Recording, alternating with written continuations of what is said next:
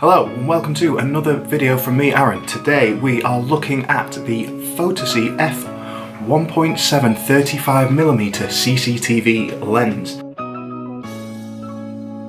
Now you may have seen this lens around on the internet because it is an extremely small and extremely cheap prime lens. This lens is made by Fotasy and is a 35mm 1.7 aperture lens. Now this prime lens is entirely manual, which means manual focus and manual aperture. Now you can even see here, if this focuses, you can see there the aperture ring getting opening and closing, and then the outer ring is the is the focus ring. These are both pretty smooth, pretty nice, pretty nice build quality considering the considering the price. Nice close up of the lens here, you can see here Fotasy f35mm 1.7 lens. We've got the the aperture and the, and the, and the focus rings here. Aperture on the inside. See here, right, we can open and close the aperture there. You can even see, you might be able to see there that the focus ring actually focuses by the inner barrel moving in and out. So it comes with a this little lens cap, standard. It's very basic, but I mean, it's not, doesn't need to do much else than that. And you can see there's no rear lens cap. I just bought a cheap one on eBay.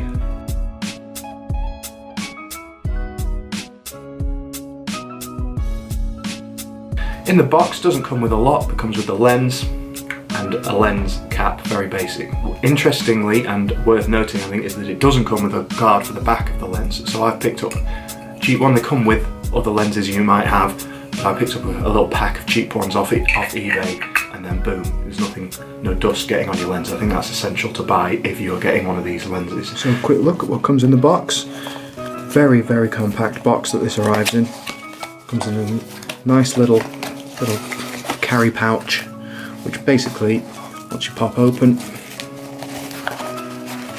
it's just the lens and lens cap what else is in the box? Just a little instruction leaflet.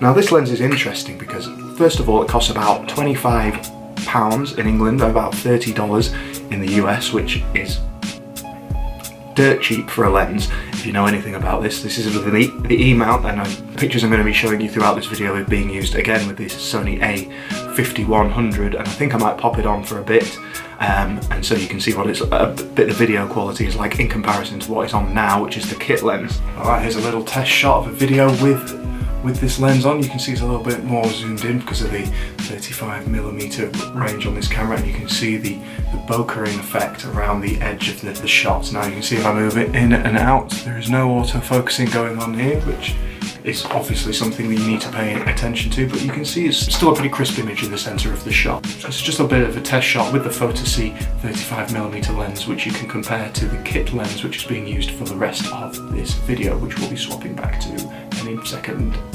What's really cool about this lens and, well, means that it works in certain situations is that it has a very spherical focal range, which means you can only really focus on the very center of, the, of your images and you'll get very strange bokeh and distortion all the way around in a, as I said, a spherical circular motion around the edge of your image, which means it can give you really cool, I've described them as like dreamlike, distorted images, really blurry, swirly backgrounds, which make, can make some really interesting portraits.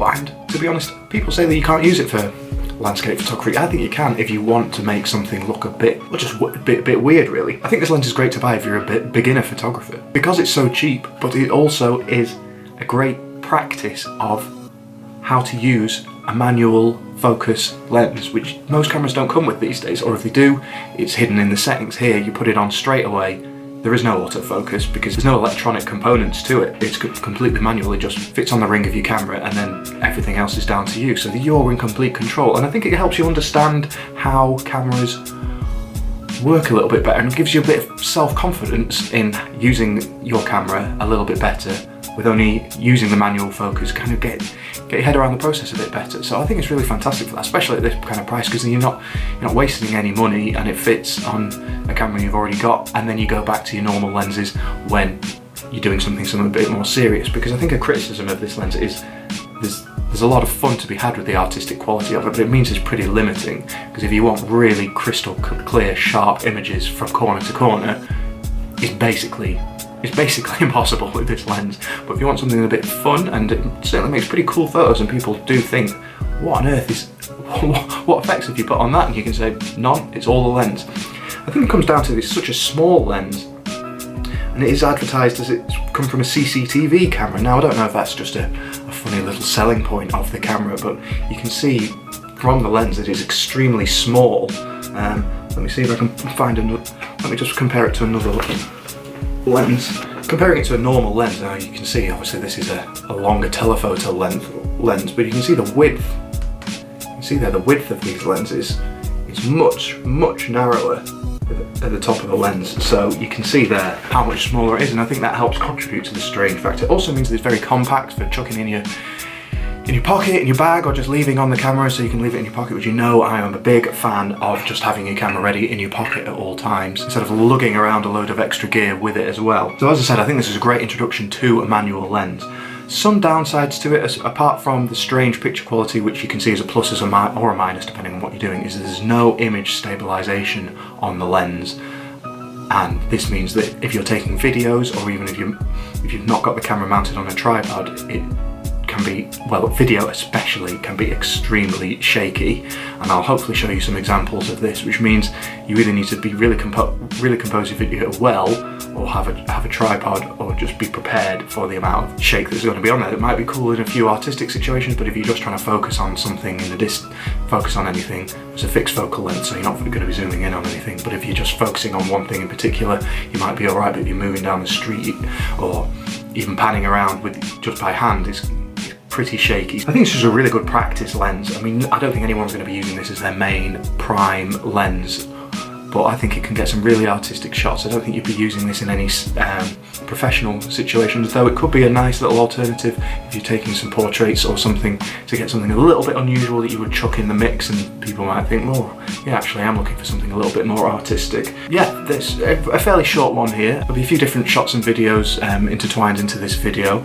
so you, can, so you can get a thought of it, but at the price point, $30, £25, it's worth picking up chucking on your E-mount. Um, as I said, I've got this on the Sony 5100, which is pretty much the entry level so if you get this compared to other mirrorless cameras you're really not breaking the bank and especially for a, a cheap prime lens which is really good fun. You get interesting results out of. You can do whatever you like with it. See what see what you can get. But there's a few examples here to help you decide what you think of it. But but for a cheap prime E-mount lens, you can't go wrong really because if you don't like it, you've not really spent an awful lot on it. And I think everyone will find some value out of it, even if it's just practicing manual photography. Thanks for watching.